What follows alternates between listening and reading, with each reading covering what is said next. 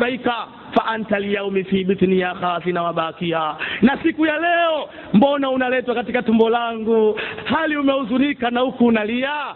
Sasa unalia nini leo? Na wewe ulikuwa jabari katika ardhi ya allah subhanahu wa taala. Wakati wameshakuweka sasa wanakufukia. Uyongo unateremka chini ya ardhi la ilaha illallah la ilaha illallah la ilaha illallah la. Udongo unakuja mpaka kinywani kabri linakueleza ya ibn adam dafanuka wanakufukia wenzio. Wansarafu anka ma nafauka tena wanaondoka ulitegemea kwamba watakusaidia. Jamaatul mali ulikusanya mali duniani wataktauli ghairika mali hiyo leo umewachia wenzio fahisabuhu alaika na hesabu ya mali hiyo utaulizwa wewe siku ya kiyama sasa baada ya kufukiwa tunafundishwa na mtume wetu muhammad kwamba maiti baada ya kuamka ndani ya kabri anakuta kaburi pana kubwa. Maiti anastajabu wapi? Niko wapi? Na kwa mafundisho ya mtume muhammad maiti wakati yumo ndani ya kaburi jambo la mwanzo kumjulisha kwamba ile ni akhera jambo la mwanzo. Pale alipo allah ataleta kitu mfano wa sataraiti hii satellite inakuja mfano wa skrini yani mfano wa television. Yenyewe ni pana lakini hiyo inakuonyesha wale watu wote walioko juu ya ardhi wale ambao wameshughulika kuja kukuzika. Allah anaweka mawasiliano ya mwisho. Baada ya mawasiliano hayo hakuna tena mawasiliano sasa ndio maiti anaona pale kwamba mjomba yule pale kaka yule pale jamaa wale pale. Pale kwa wale watu wabaya wanakuwa na mategemeo kwamba watanisaidia bwana. Hawa jamaa zangu wako bwana. Hawataweza kukubali kuniacha sehemu kama hii bwana. Basi japo kidogo wanaweza wakanisaidia. Sasa sehemu ngumu wakati jamaa wanaondoka kama walikuja na magari wanaingia kwenye magari yao wale magari yanawashwa yanaondoka magari. Pale ndio maiti anapiga ukelele mkali mno. Na maliki anamwambia hey, fulani mimi fulani hakuna kelele huku. Wewe sasa ni mtu wa akhira na huku bwana hakuna kelele.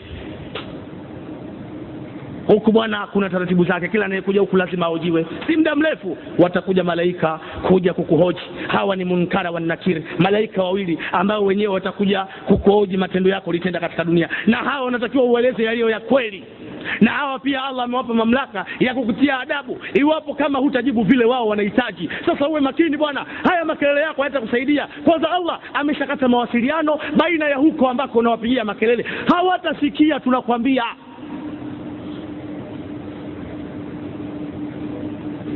Sasa wakati huo ndugu zangu waislamu kabri nali linatoa hutuba yake ya mwisho katika kitabu katika hadithi lkudusii kabri linatoa hutuba yake ya mwisho kwako ya kwamba ya ibn adam e mwanadamu ana baita shari mimi ndio nyumba ya shari wana baita jui mimi ndio nyumba ya njaa mimi ndio nyumba ya kiza mimi ndio nyumba ya kiu mimi ndio nyumba ya fedheha mimi ndio nyumba bwana ya matatizo mimi ndio nyumba ya kila shari mimi ndio nyumba ya kadha wa kadha wa kadha wa kadha wa kadha. Eh fulani bili fulani hii si dunia uliokuwa ukichezea hii ni akhera.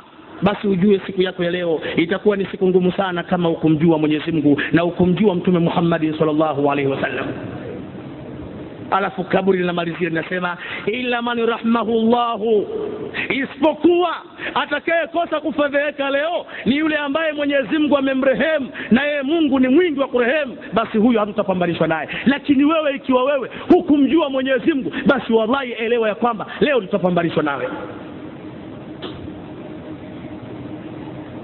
Kwa hiyo baada ya hapo ndio watakuja wale lmunkara wa nakir na hawa ndugu zangu wawili ndugu zangu waislamu ni malaika wawili. Mmoja anakaa kulia mwingine kushoto.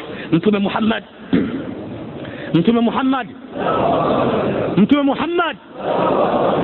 Anaeleza sifa za malaika hawa. Anasema huu jicho lake akimulika kukuangalia ukali wake kama umeme wa radi. Na vile vile akiongea ile kukuoji wa ma rabbuk. Nani mola wako ile sauti yake ni sawasawa na mungurumo wa radi ambao watu wanakimbia ovyo barabarani. Ndio sauti ya huyo malaika.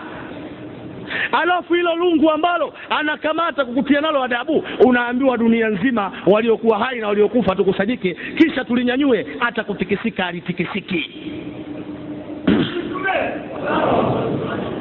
Na wakati sasa unaadhibiwa maana utakapohojiwa pale wama rabbuka nani mola wako wama nabiyuka nani nabii wako wama kiblatuka. Wakati unahojiwa hataweza kuyakumbuka mtu bali allah amesema ndani ya qurani bwana wal akibatu litaqwa mwisho mwema utawathibitikia wamchao mwenyezi mungu. Hakuna mwisho mwema kwa watu wabaya hakuna mwisho mwema kwa wanafiki hakuna mwisho mwema kwa watu wasiomjua mungu. Mwisho mwema ni kwa wale wenye kumcha allah subhanahu wa taala. E mwenyezi mungu tujalie tu ni wenye kumcha mwenyezi mungu